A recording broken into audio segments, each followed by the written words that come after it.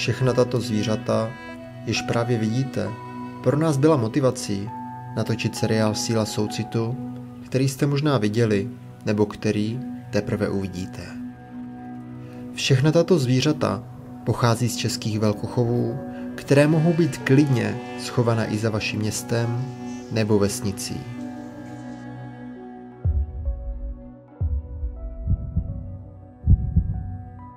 V našich končinách jsme jako lidé zvyklí mít právo na spoustu základních potřeb, které vnímáme jako naprostou samozřejmost. Máme relativní svobodu, můžeme trávit čas s našimi dětmi, můžeme se svobodně projít po venku, kde si užijeme oblohy, slunce nebo čerstvého vzduchu, který je pro nás také běžnou samozřejmostí. Tyto základní potřeby jsou ale luxus, který spousta zvířat ve velkochovech, ale často i jinde, nikdy nedostane.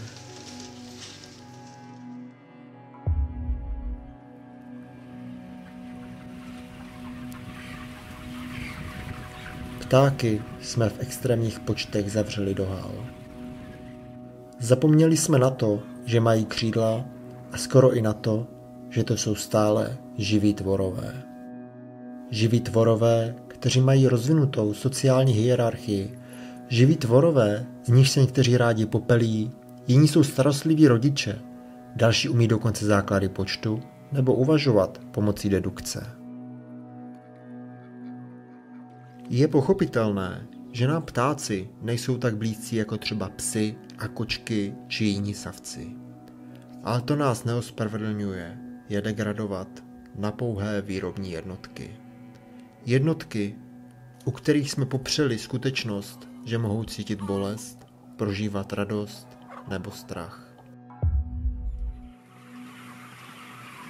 Tito ptáci, které člověk určil na maso a které lidé i v našich končinách nejčastěji, se tlačí v obrovských halách, jeden na druhém, válející se ve vlastních výkalech, často na zahnívajících podestilkách, což jim způsobuje mnoho zdravotních problémů.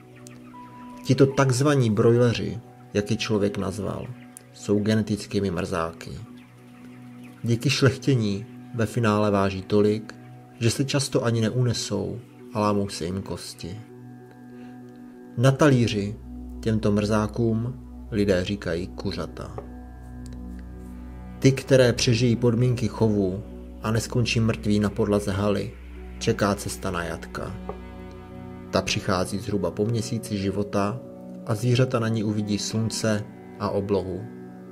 Bude to pravděpodobně po druhé a naposledy v jejich životě.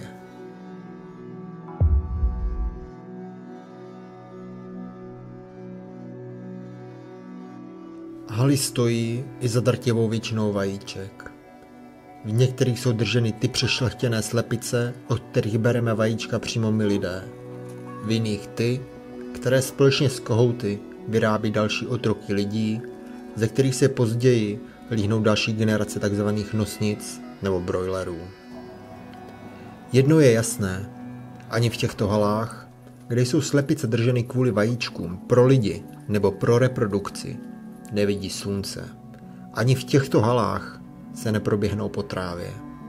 A je jedno, jestli je to klecový chov nebo jiný z nejčastějších typů chovů. I z těchto ptáků jsme udělali stroje. Stroje, které snesou několikanásobek toho, co snášeli dříve, než je člověk geneticky přetvořil a tím jim způsobil i mnoho zdravotních problémů.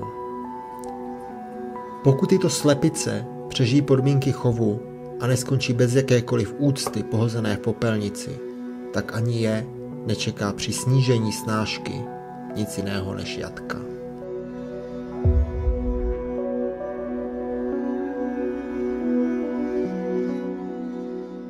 O prasatech se nenadarmo říká, že jsou takový růžoví psy.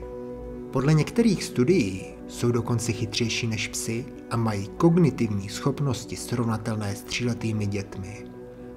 Prasata ráda ryjí v zemi a navzdory představě, že jsou špinavá zvířata, jsou naopak velice čistotná. Přesto všechno jsme většinu z nich nahnali do hal, na beton a rošty. Tam je za účelem konzumace částí jejich těl necháme vyrůst do patřičné váhy a pak je většinou v půl roce pošleme transporty na jatka. To i přesto, že by se dožila až 15 let. Je to jako byste zabili člověka zhruba kolem 3 let. Odhadem v jedné třicetině života.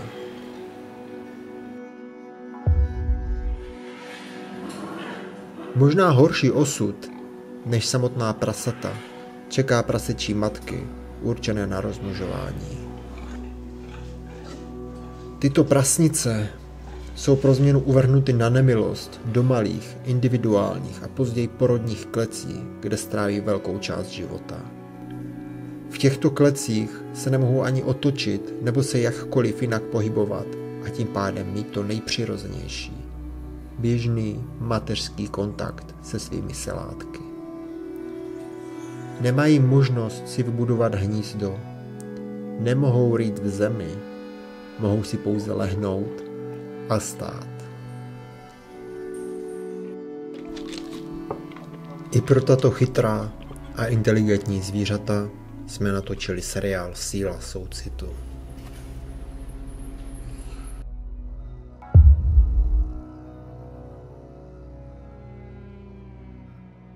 Tyto prázdné plastové boxy čekají, až se naplní dalšími telaty, která jsou jejich matkám z průmyslových chovů berána často hned po narození.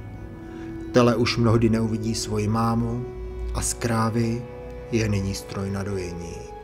Ani ona své dítě již často neuvidí.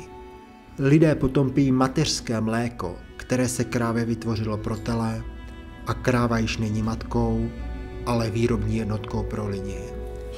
Zhruba po čtyřech laktacích ve čtvrtině možného průměrného dožití je tato vyčerpaná matka, která pořádně nikdy nepoznala žádné ze svých dětí, poslána transportem na jatka. To i přesto, že by se dožila až 20 let. Kravíny se nám mohou zdát jako pohodové, vesnické, idylické místo. Pravda je ale taková, že za nimi stojí matky bez dětí, děti bez matek a ve finále cesta na jatka, kterou musí absolvovat ať už každá vyčerpaná matka nebo bíček, který je vedlejší produkt mléčného průmyslu. Takový pohled strachu a zoufalství v reklamě na mléko, síry či jogurty neuvidíte. Zažijí ho jak krávy, kterým člověk bere mléko, tak ty pěkné, dobře vypadající z pastvin, které jsou chované většinou pouze na maso. Nemusíme vidět drastické záběry zničených zvířat, abychom pochopili, že s tímto průmyslem je něco špatně.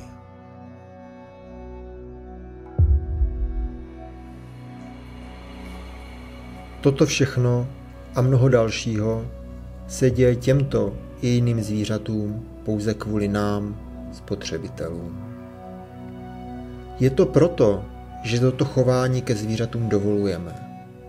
Dáváme prodejcům naše peníze a v podstatě říkáme, že o tyto produkty, které zešly ze zbytečného utrpení, máme zájem. Dobrá zpráva ale je, že nás nikdo nenutí tento průmysl podporovat a že se bez živočišných produktů obejdeme. Seriál Síla soucitu nám ukázal, že vegané či veganky mohou být lidé vykonávající fyzicky náročnou práci nebo extrémní sport. Vegankou může být také lékařka, která se vyzná ve fyziologii lidského těla více než jiní lidé.